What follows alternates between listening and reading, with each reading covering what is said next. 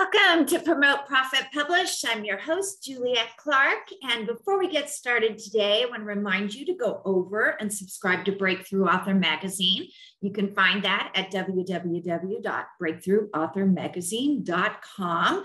That is a free subscription you're opting into, and it's full of good stuff. We have articles every month about content development, social media, publishing, editing, book development, uh, interviews with authors and how they've done with their books. So there's a little bit of everything for anyone who is writing a book, building an author platform, and promoting.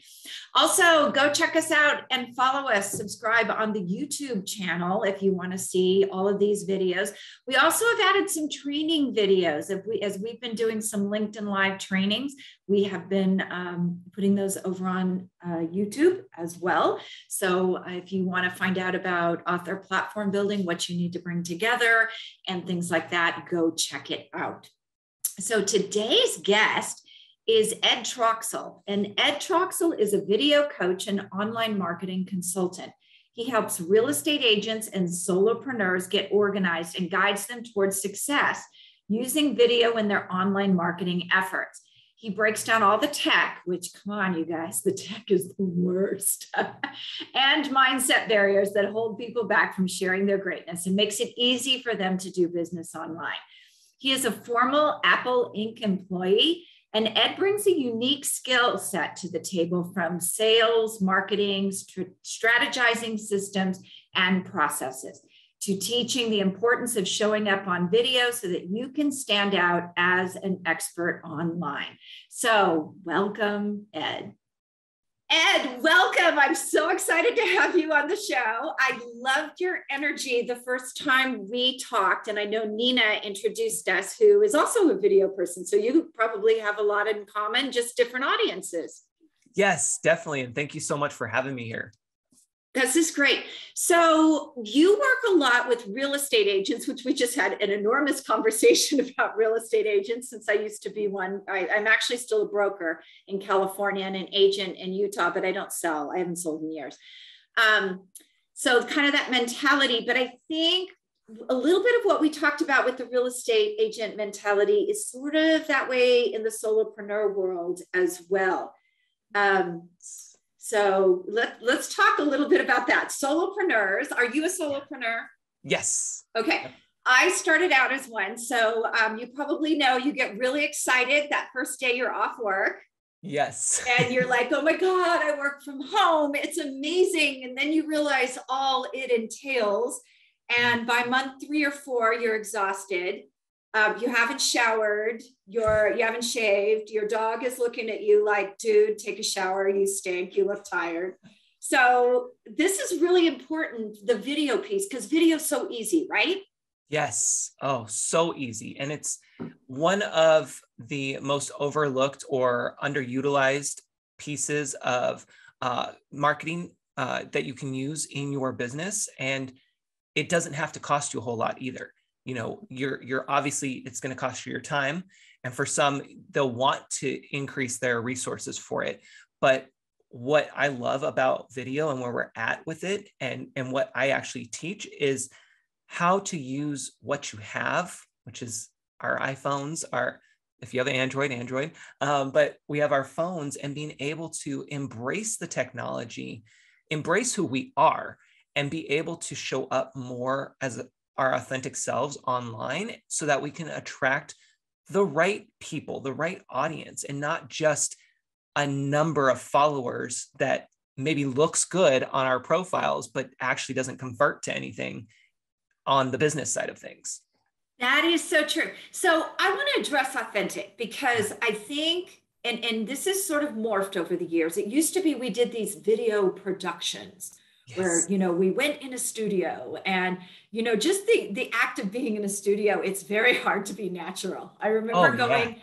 i'm going to say 2000 end of 2016 early 17 actually it was 17 went to san diego i went to a studio and i did three shots. And there was a script and i had all this heavy makeup on and i was dressed and i had to yes. And, you know and read the teleprompter and be myself that's not what people are looking for anymore. No. Yeah. And that that's the beauty of where we're at. I mean, listen, I, I'm the same way where before I started this business, I did not want to be in front of the camera. I was always the guy behind the camera. But I knew that being out on my own, I had to market myself differently. And I knew that the only way to do that was to step in front of the camera. And for me at the time, it was going live. So I was going live on Periscope and Facebook and and then all the different ones, you know. Yeah.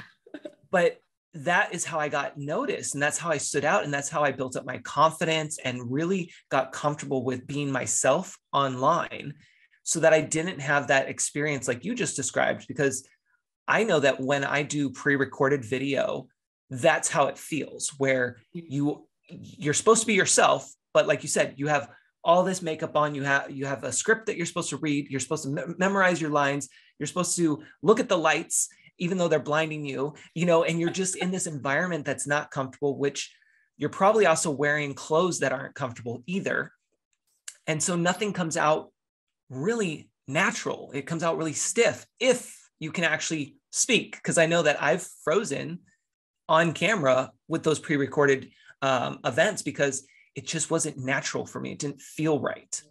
Yeah. So Periscope, you guys, I have to yes. tell you. I'm going to give you a great example of why you should work with someone like Ed. Periscope, when it was brand new, I tried it. And it was, I think, the first thing I ever did live. It was horrendous. It was absolutely horrendous. So I kind of pulled away after that first one. And I was in this mode where I was thinking about like, am I ever going to get on there again? Yeah. And then remember how it used to ping you if somebody you were following came yes. on? So this group of real estate agents, it's so funny we were talking about real estate agent, they, real estate agents and mortgage brokers, they, they were going to try to do this show and they get on it. and one of the guys talks with his hands and literally they're talking and what knocks the microphone right off the desk. Yes. You can hear them all underneath the desk going, Where is it? Where is it? You know, F bombs dropping. Yeah. And I remember thinking, Oh my God, I was a rock star. Yes. so, so you guys, I think the point of it is you're always going to be bad the first time, but if you if you keep at it and you practice, it becomes natural. So is oh, that what you do with people a lot? Hundred percent. Yes, exactly. It's really about uh, what I call promoting video positivity. It's really allowing us to get comfortable with being on camera, allowing our quirks and our goo- gooky, goofiness, and you know, you just keep rolling with it, right? Like that's the beauty of it is you get so comfortable with yourself in front of the camera that when things like that happen, or like I messed up in my verbiage there, or the phone drops or whatever happens, you go into this what I call survival mode. Your brain knows. And so it kicks mm-hmm. into survival mode and it fills in the blanks for you. So you get so comfortable with if you mess up that you either don't even notice it or you make fun of it. Like there was one interview that I did where I didn't know it wasn't going to be edited and I messed up during the the call and they're like just so you know we're not editing this and I was like Awesome. Great. So that's a teachable moment. So you get to really include it there. And people really enjoy that because it's relatable. They can understand. And it makes it a lot easier for them to get the courage to do it themselves because really what's holding us back from showing up on camera it's not the equipment it's the mindset and that's what i work with uh, first is the mindset versus the tech because that's the biggest barrier that holds so many back from even picking up the equipment to then go on and be on camera yeah and that's so true you know um, it, i'm going to equate it to kind of writing a book too yes. sometimes when you write a book and you get your reviews you're you you look at them and you go oh that was that was devastating but one of the things one of my mentors taught me early on is like pull back and just say, hmm, I wonder if that person has ever written a whole book. Yeah. Because I think the people who don't do it tend to be more critical yep. than the people who, you know what I mean, as an audience, than the people yes. who do do it. Once you do it and you gain that appreciation, and um, I have to tell you, some of the best people who are able to pick up and get comfortable are those that have gone to, like to comedy programs Yeah. I have a lot of girlfriends who've gone through the improv. Oh, and oh, yes. I can't even imagine getting up and like telling jokes on a stage. But it they they all say that it's super helpful in just like being able to make a mistake and pick it up and run. Yes. And you bring up such a great point, you know, tying that into social media because a lot of us are going to be sharing these videos, sharing our books on social media and and that can be challenging for some because again, we're fearful of getting a negative comment, getting a mm-hmm. negative review.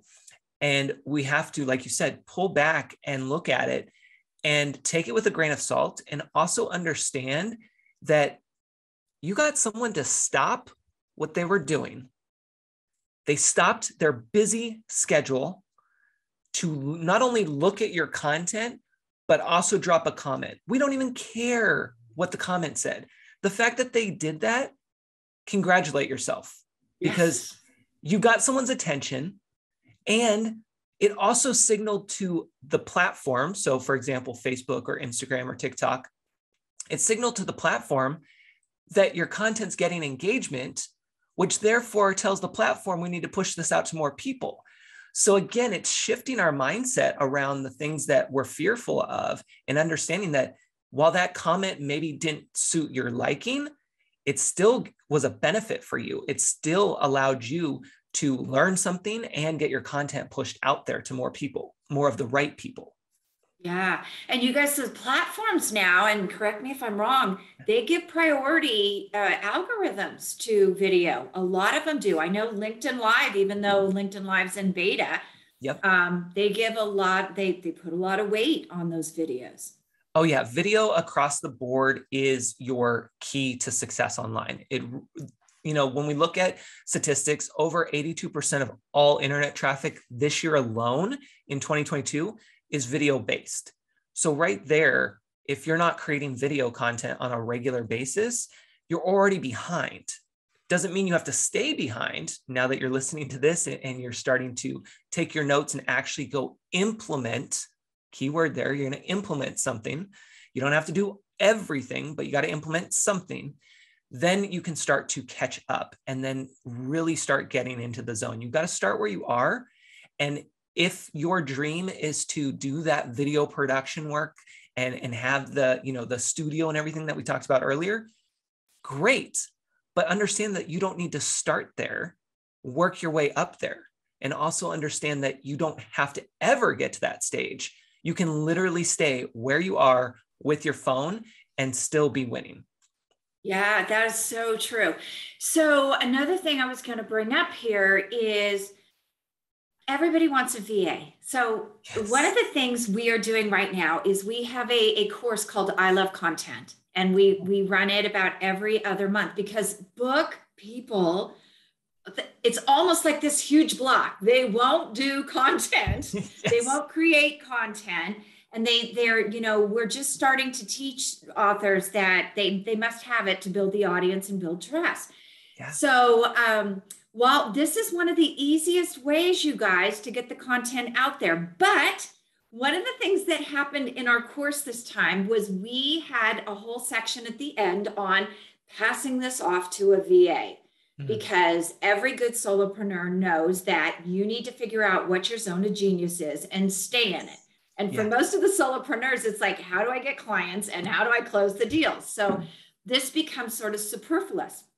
So with that said, should they learn how to do all this themselves and then be able to pass it off to a VA? Yes. I held my breath on that one because that is a big yes. So, anything that you do in your business is always a good starting point for you to make sure you know what the process is like you've experienced it, you know it. You know, I come from when I first started my business, I started with web design and making sure that clients knew how to update their website if they wanted to, to prevent them from getting screwed over by other people later down the line. I did that. Yes. Yes. Because it's the wild, wild west out here on the internet. And so it's always good to have a basic idea, whether you're going to continue to do it yourself or outsource it, a basic idea of what that process looks like and that way you can always make sure one you have your finger on the pulse but two you you have an idea of what people should be working on and, and what they should be charging and, and invoicing you. And so when we talk about video specifically this is the beauty of video. You can outsource every other task pretty much in your business except video because and, and technically you could but i'm going to tell you why you shouldn't because if you just focused on creating video content, then you can send that video content to that VA who can then create your social media posts, whether it's video, audio, or text or, mm-hmm. or images. Um, you can also send that to whoever's running your ads or whoever is requesting XYZ from you. See, you have all these people on your team that are asking for something from you. And if you can give them one video clip, because they can do so much with that one video and it makes your life so much easier. So once you get comfortable with being on video and you start consistently showing up on video, it's so much easier for the rest of your team, VA, contractors, whoever, to just pull from that and be able to do their job a lot easier and a lot smoother without having to go back and forth with you all the time. Mm-hmm. It's the mm-hmm. beauty of it. It is. So I'm going to give you an example of what he's talking about, you guys. What we're recording right now. This is my podcast. So it gets created into a podcast. I think it goes on 21 different platforms. The video goes over, it's edited and it goes over on YouTube. I don't ever, I don't even know how to get into my YouTube channel. Although, wait a minute, I guess I do now because we've been doing the coursework and putting it over there. So I know how to log in, but I never really touch it. Yeah. It gets transcribed into a blog. And typically, if you talk over 20 minutes on a video and have it transcribed, it'll come out to over 6,000 words, which means the search engines are in, are indexing it now and it's on your website. So it's creating SEO. Yes. Um, your staff can take clips out of it. So we we actually transcribe some of the articles and have them rewritten for the magazine. Oh, we have social media posts. We have snippets, audiograms taken out of it. I mean, there are so many things that we do with one recording like this that it's unbelievable. And guess what? It takes pressure off me having to create content more than once a week. Yes. And that's the beauty. And for so many who are listening, you've probably felt, if, if not still feeling, the pressure and the stress of having to always create content and post on social media 24 7. You don't have to. You can do one right. video per week and have that dedicated time if you have the right strategy in place and be able to then allow that one video to throughout the week work for you mm-hmm. in all those different areas. And I love that you're doing that with this podcast and that you shared that example because it opens up the doors for people to see all the possibilities. And again, for those listening, you don't have to do all those things at once. You may not do any of those things later on down the line. Just pick one thing that you can start with and get those reps in. It's all about building up that muscle memory and then being able to expand once you get to that next level. Yes, that is so true. So, uh, just to share with you guys a little bit about what we're doing in the I Love content, which you'll appreciate. Yeah. Hashtags, keywords. How do we how do we do put together a content calendar? These are things that I found with my book people that not only did they not have content, they didn't know how to do any of these things. Hmm. So now we just took care of two of the things that you need to have together to build your author platform. Yes. So, yeah. So if you can start something as easy as what Ed is talking about on video with your phone, just put your phone on a, on a, a, a tripod. Yep. I actually use Zoom a lot too. I open up and I just use Zoom and talk. So if you can start doing that consistently, and before you say another word, Ed, uh, just agree with me. Before, don't critique yourself when you're doing it because there's oh, yeah. nobody who is your worst enemy more than you when it comes to video, right? It is so true. It's so true. And I will tell you, uh, you know, uh, here's a little secret for everyone is if you're going to watch your replays, which which I do encourage you to at some point, know that you are not going to do it right away. That's the key because like you said, we're our worst critics and we'll film something, we'll watch it and then we just tear ourselves down. You got to give it some time. Let some time pass. I usually recommend at least a day to then go back and look at it and have an open mind because almost nine and a half times out of 10, you were not as bad as you thought you were in that moment. It's just human nature. And when you go back to watch those replays, you, yes, you'll catch some things, especially in the beginning days, because you're really keeping an eye on it, which is good because you're aware and that helps your brain understand okay, we're going to make a mental note and we're going to fix that next time. We're going to work on that. But you also get to see, yeah, I'm not that bad actually pat myself on the back. I did that you know? And like like you said earlier you saw what other what happened to other people where the mic had dropped on a periscope video. And you were like i'm a rock star. And so it again it's that positivity that we're trying to promote and it's going to be through video and being able to get more comfortable with yourself and the camera. And it will open up so many doors to endless possibilities for you and your business. So true. So I'm going to give you guys a little hint here. If you're thinking that you're going to record this and maybe just use the audio, yesterday I had the most amazing conversation with a client who complained about a different coaching program. And he said, It bothers me because everything they do is audio only. And I'm actually taking a course from those people right now. And I had the same experience. But here's the deal the video, what he was saying is, I love working with you because I can see your face. I can tell you're telling me the truth. I can see your passion. I can see your eye contact. So if you're thinking, oh, I just don't want to see myself on video, I just want to hear the audio, scrap that idea. You need yes. the video. Oh, I love that you brought that up because so many people will ask, Can I not show my face on camera? Listen, you don't have to show your face on camera. However, if you want to run your business and make it sustainable and get seen out there, you have to show your business your face because mm-hmm. it, your business depends on it. It is so important. We do business with people we know, like, and trust, and we can only do that if we see your face not a logo, not a stock image, your face. And I mean, right now, if you're listening to this, go watch the video because you can see how I light up and how goofy I might look on camera, but I don't care because I am passionate about this and I love being able to see people embrace the camera. You know, I had, speaking of real estate agents, I had one of my agents who feared being on camera. She she was doing it, but she just was not comfortable and it took us uh, quite a few sessions before she finally started to record some videos. Now she is a machine. She is putting out TikToks left and right, and she's smiling and she's having a good time. And I just, I can't get enough. It's just like so cool to see how that door just swung right open.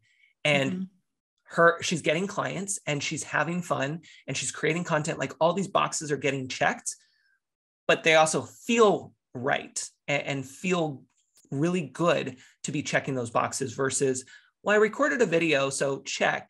No you you got to really put your your focus on it and understand that you're going to be in it for the long run. It's not just i recorded a video and nothing happened. Well mm-hmm. It's not yeah. just about the video today. It has a long shelf life. That's in fact, it's longer than any of those social media posts that you've been putting out there. Video has a longer shelf life, especially when you put it on, like you said, YouTube, in your blog. Like these are things that people are going to continuously come across.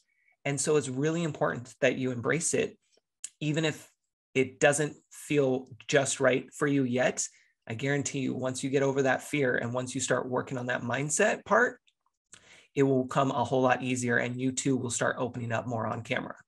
Yeah. And here's the thing with video too it's sort of like books and podcasts. If you find one you like, you'll go seek and listen to the others or read the other books yeah. or listen to the other podcasts. So even though you may not get that instant gratification today, there may be someone who sees one, you know, six, seven months from now and goes, I really like that information. I think I'm going to go back and look at everything else. So, I, so I've even had that for two years. Like somebody yeah. found my video from two years prior and wanted to work with me. Like, yeah, that's the beauty. And and real quick, you mentioned about scripts earlier when we were talking about being in a studio, right? As authors, what's beautiful is you already have your outline, you have your content. Video is just bringing it to life.